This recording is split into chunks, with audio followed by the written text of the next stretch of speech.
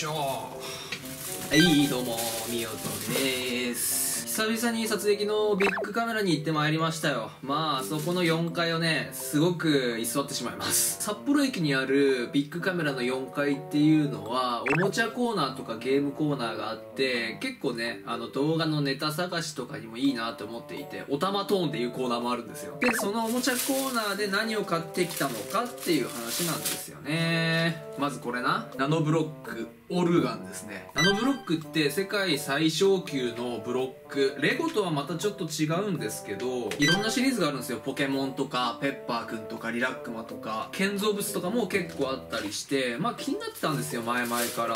でもう一個買ってきたのがこれ。こちらも楽器ですね。グランドピアノ。もともとナノブロックには楽器シリーズもあるっていうのは知っていたんでいつか動画でやろうと思っていたんですけれども残念ながらちょっとビッグカメラにはねこの2つしかありませんでした。今日はねこのピアノとオルガンを組み立てていきたいと思います。ただこれだけたらクソしょうもねえクソつまんねえクソバカみたいな動画なんですよ。だからなんかちょっと面白くな組み立てたいなとは思ったんですよね。2つとも鍵盤楽器だからなんか鍵盤数を大きくしてこうでっかい1個の鍵盤楽器みたいな面白くねえな話変わるけどねオラフも買ってきました。メディコムトイっていうところから出てるあの UDF のディズニーシリーズなんですよ。たくさんディズニーのフィギュアもねあったんでちょっと見惚れてしまいましてオラフ買ってきましたね。たまたまオラフですよ。オラフは置いておいてなんかうまくできないかねこれ。あちょっと待って。あいつ使えばいいんじゃない？あいつですよ。僕の動画でもたびたびね登場してるこいつ。テレテテテテーメトロノーム。ゃあ今日はこのメトロノームマックスのテンポ208に設定してこいつが死ぬまでにオルガンとグランドピアノを組み立てることができるのか言ってしまえばスピード勝負ですよ。これをやっていこうかなって思います。考えに考え抜いた企画がこれっていうのもななかなか弱いんですけど。じゃあやっていきますか？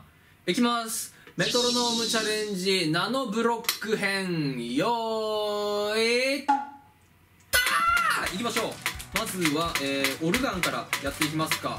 これね難点がねありましてカチカチうるさいんですわ。これね喋りながらやりたいんですけどこいつの音がねかき消されるんです僕の声。ちなみにこのレベルは2ですねどっちとも。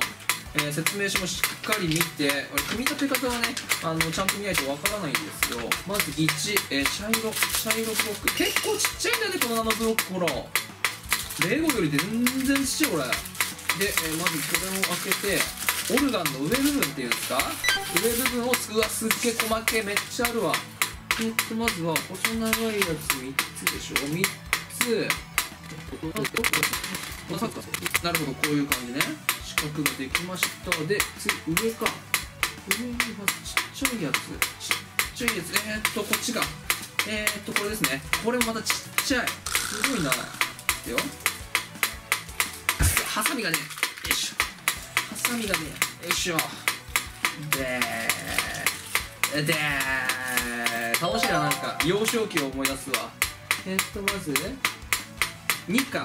2マスのやつをここにうわ細けこれ。指太い人とかやりづらいだろうなこれ。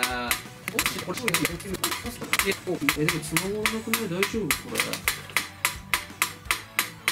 いやでも合ってんなこれかああ細けあめちゃくそ細け。これ1か黒1うわ待ってこれとかめっちゃ細け。わかる？米粒じゃないですよ。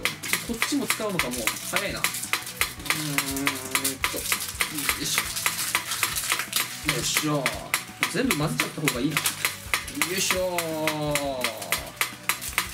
はいはいはいはいオッケー。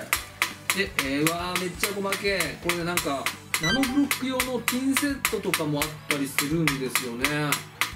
これなんか意外と面白いな。ちっちゃいからこそなんかかさばらないし飾っておくにもいいかなと思いますね。はい。でえっと次は？大きいやつだね。これをうんとこうなるからなるほど。こうするわけですね。はいはいはい。こんな感じですね。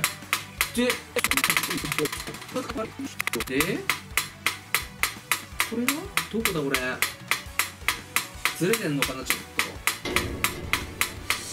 うーんここで合ってんのかな？後々さ間違っててやり直しってなったら大変だからね。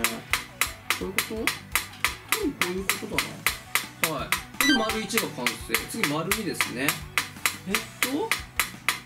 丸2はどこの部分だこれ？なるほどね。鍵盤を。あ待ってここで待ってどういうことこれえなんかおかしいなこ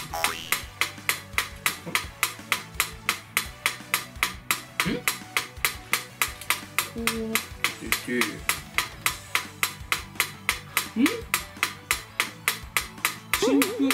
てんだな待ってでもいやえちょっと待ってよええわからないわからない。どういうこと？どういうこと？えっと？えっと？ん？ん？ん？ん？ん？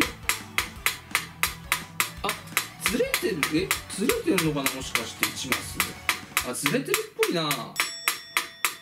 やり直しかこれ。うわーやり直しってなるとこれきついな。これは時間ロス時間ロス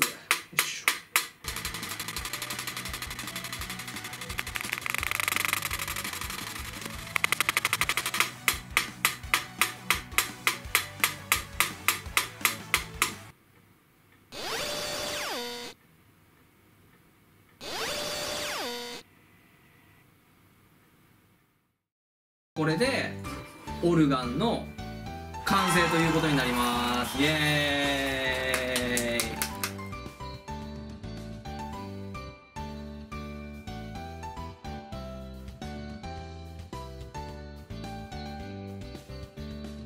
はいということで本日はメトロノームが死ぬまでにナノブロックを2つ完成させようという企画でしたが1個もできませんでした。もう第2段階くらいまでしかねできなかったですね。そもそもなんかこう袋から開けるところに時間かかっちゃったりとか。まあ1回ミスったらもうそれで終わりな気がしましたね。こちらのピアノに関してはまた後日ですねちゃんとまたメトロノームを208にして死ぬまでに完成させたいと思います。今日はもう言ってしまえば練習みたいなもんすよ。まあでも楽しかったんでそれで OK です。それでは本日もご視聴ありがとうございました。した。バイバイ。